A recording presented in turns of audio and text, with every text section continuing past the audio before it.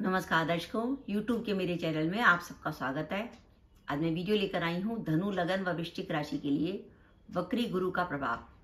देवगुरु बृहस्पति 4 सितंबर 2023 को वक्री होने जा रहे हैं और वो 31 दिसंबर 2023 तक वक्री ही रहेंगे। गुरु के वक्री रहने का प्रभाव, धनु लगन व वृश्चिक राशि पर क्या पड़ेगा, इस वीडियो में हम इसी बात का विचार करेंगे। अगर आप मेरे चैनल पर पहली बार आए हैं तो मैं आपको बता दूँ कि मैं लगन व राशि दोनों से वीडियो डालती हूँ और मेरा आज का कॉम्बिनेशन है धनु, लगन व वृश्चिक राशि। सबसे पहले हम समझें कि धनु, लगन व वृश्चिक राशि का क्या अर्थ है। ये आपकी लगन कुंडली है, इसके पहले भाव में नौ नंबर लिखा है, इसका अर्थ है आपका धनु लगन है। चंद्रमा द्वादश में बैठा है, आठ नंबर में इसका अर्थ है आपकी वृश्चिक राशि।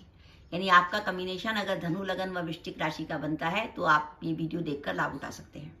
सबसे पहले हम देखते हैं कि धनु, लगन और वृश्चिक राशि पे देवगुरु बृहस्पति कहाँ पर गोचर कर रहे हैं और किन भावों के स्वामी होते हैं।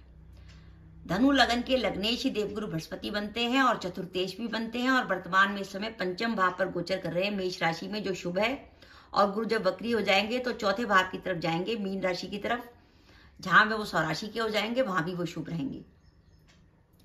वृश्चिक राशि की बात करें तो देवगुरु बृहस्पति धन भाव के स्वामी बनते हैं और पंचम भाव के स्वामी बनते हैं और वर्तमान में छठे भाव पर गोचर कर रहे हैं। और जैसे ही वो बकरी होंगे, वो पंचम भाव की तरफ़ जाएँगे। वृश्चिक राशि के संग एक महत्वपूर्ण बात। वृश्चिक राशि पर चल रही है इस समय शनि की ढैया और शनि महाराज चौथे भाव में चल रहे हैं। लेकिन शनि महाराज क्योंकि वक्री है कुंभ राशि में, इसलिए वो तीसरे भाव का इफ़ेक्ट दे रहे हैं। और जब गुरु वक्री हो जाएँगे तो पाँचवें भाव पर इफ़ेक्ट देंगे।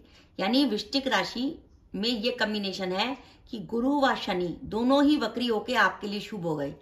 क्योंकि शनि महाराज तीसरे का अच्छा फल देते हैं और गुरु पंचम का अच्छा फल देते हैं। तो दोनों आपके लिए पॉजिटिव हो रहे हैं, गुरु और शनि वक्री होके। इसका आप ध्यान रखिएगा। अब हम देखते हैं कि धनु लगन व वृश्चिक राशि के लिए कैरियर के लिए कैसा समय है। मेरा यह मानना है कि अगर आप धनु लगन व वृश्चिक राशि के जातक हैं और लंबे समय से सोच रहे थे कि अपने कैरियर में कोई परिवर्तन करें, कोई चेंज करें तो आपके कैरियर में परिवर्तन का समय आ गया है। आप वर्तमान जॉब को बदलना चाहते हैं तो बदल सकते हैं। साथ ही आपके नौकरी में आपके ट्रांसफ़र की भी संभावना बनती है। अब वो ट्रांसफ़र कितना नेगेटिव होगा, कितना पॉजिटिव होगा, ये निर्भर करेगा आपकी कुंडली की दशाएँ कैसी हैं। जैसे आपकी कुंडली में गुरु की, सूर्य की या मंगल की। गुरु, सूर्य या मंगल की दशा या अंतदशा चल रही होगी तो वो जो ट्रांसफ़र है वो आपके लिए पॉजिटिव होगा। लेकिन दशाएँ थोड़ी नेगेटिव हुई, जैसे शनि की या चंद्र की या शुक्र की तो ट्रांसफ़र थोड़ा सा नेगेटिव हो सकता है। यानी गुरु, मंगल और सूर्य तो आपका ट्रांसफ़र पॉजिटिव कराएँगे और शुक्र, चंद्र और शनि आपका ट्रांसफ़र नेगेटिव कराएँगे। साथ ही, क्योंकि धनु लगन से देव गुरु, बृहस्पति आपके पंच, लाभ भाव को देख रहे हैं, वृश्चिक राशि से भी लाभ भाव को देखेंगे। लाभ भाव होता है हमारा इच्छा पूर्ति का भाव।